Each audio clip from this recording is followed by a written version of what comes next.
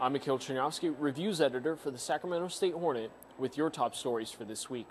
In news, 22 year old business major Robert Owen Basinger was charged with drunk driving and gross vehicular manslaughter on Friday. He crashed his vehicle off of Folsom Boulevard, resulting in the death of Mary Kuehl. The Hornet speaks with Basinger. Also in sports, Jerome Jenkins, the men's basketball coach, is out.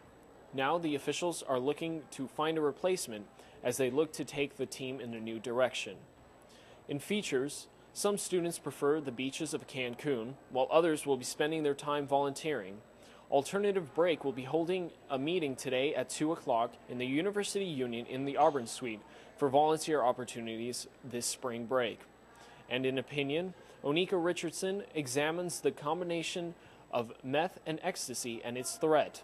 Also, Victor Nieto talks about dirty politics, and Sarah K. Hannon examines the fire alarms and their importance here at Sac State. I'm Mikhail Chernovsky, reminding you to pick up a newspaper today.